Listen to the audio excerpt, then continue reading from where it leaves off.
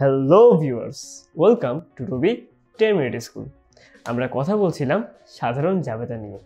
লেনদেন থেকে সাধারণ জাবেদা লিপিবদ্ধ করার সময় কোন ব্যাপারগুলো আমাদের মাথায় রাখা উচিত?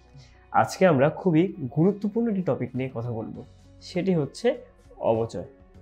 অবচয় বলতে কি বোঝায়? অবচয় বলতে বোঝায় যখন আমরা কোনো একটি স্থায়ী সম্পত্তি ক্রয় করি। ধরে নাও, দালান কোঠা।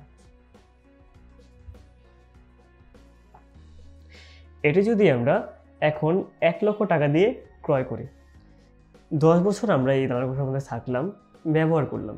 যখন দশ বছর পরে সেটা বিক্রি করতে যাব, তখন কি এটার দাম এক লক্ষ টাকায় থাকবে?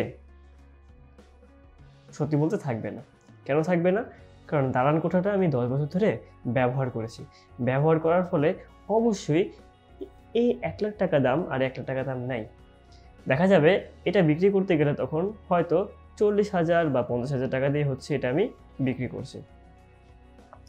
মাঝখান দিক দিয়ে যে পঞ্চাশ থেকে ষাট হাজার টাকা চলে গেল, সেটা কোন জায়গা থেকে গেল? এটা যাওয়ার কারণ হচ্ছে এর মধ্যে অবচয় হয়েছে। তাহলে অবচয় বলতে কি বোঝায়? স্থায়ী সম্পত্তির মূল্য হ্রাস। কীভাবে হ্রাস পেয়েছে? ব্যবহার জড়িত কারণে।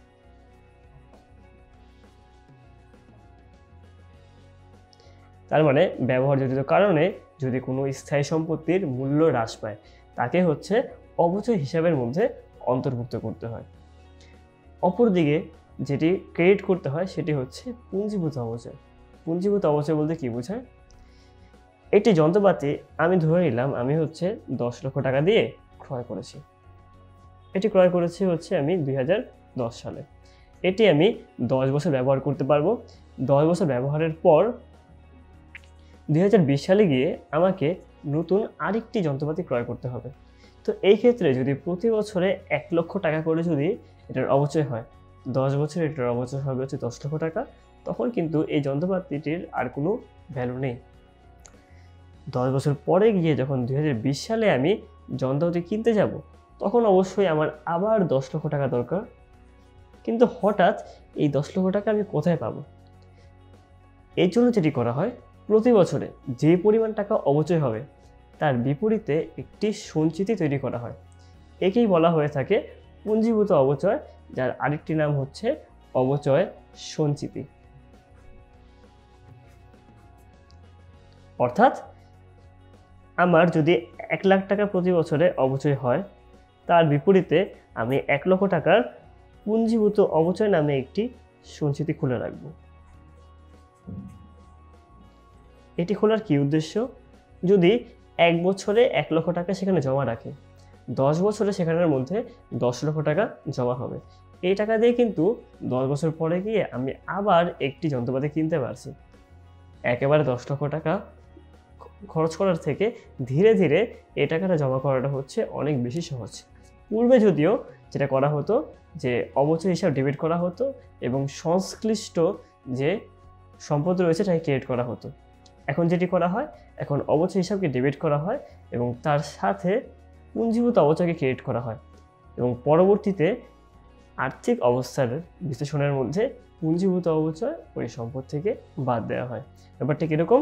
অবচয় আসবাবপত্রের উপর যদি অবচয় ধার্য করা চার হাজার টাকা।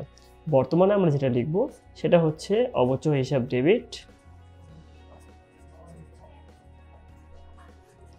এবং অপর দিকে আমরা লিখব হচ্ছে পুঞ্জীভূত অবচয় ক্রেডিট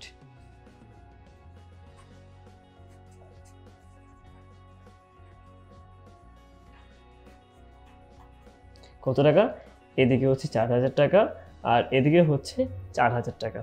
আগে যেটা করা হতো, এই পুঞ্জীভূত অবচয়ের জায়গায় সে সম্পত্তির নাম লেখা হতো। এখানে যেমন লেখা রয়েছে, আসবাবপত্রের উপর অবচয় ধার্য, তাই ওই সময় লেখা হতো, আসবাবপত্র হিসাব ক্রেডিট কিন্তু বর্তমানে আমরা এই জাবেতাটা ইউজ করব না। আমরা কোন জাবেতাটা দিব? আমরা দেব হচ্ছে অবচয় হিসাব ডেবিট এবং পুঞ্জীভূত অবচয় হিসাব হচ্ছে ক্রেডিট পরবর্তীতে আমরা যখন আর্থিক অবস্থা বিবরণী করব, আমরা এই আসবাবপত্র থেকে এই পুঞ্জীভূত অবচয়ের যে অর্থটা রয়েছে, সেটা বাদ দিব। যদি এই চার হাজার টাকার অবচয় যদি আসবাবপত্রটি হয় চল্লিশ হাজার টাকা, তাহলে আসবাবপত্রের পরিমাণ হচ্ছে চল্লিশ হাজার টাকা, তার থেকে আমরা পুঁজি অবচয় বাদ দিয়েছি চার হাজার টাকা। তাহলে সব শেষে, বছর শেষে গিয়ে আমার যন্ত্রপাতির মূল্য পড়ে রয়েছে ছত্রিশ হাজার টাকা। তো আমরা আসবাবপত্র বসাই অথবা পুঞ্জীভূত অবচয় বসাই দুই ক্ষেত্রে আলটিমেটলি গিয়ে সেম কাজ হবে, কিন্তু বর্তমানে এই পদ্ধতিটি বেশি হচ্ছে ফলো করা হয়। তাই আসবাবপত্রের উপর অবচয় ধার্য। এক্ষেত্রে আমরা জাবেদারে কী দিব? অবচয় হিসাব ডেবিট এবং পুঞ্জীভূত অবচয় হিসাব হচ্ছে ক্রেডিট। কারণ কী দিব? আসবাবপত্রের উপর অবচয় ধার্য করা হলো। তাহলে আজকের জন্য এতটুকুই। ধন্যবাদ।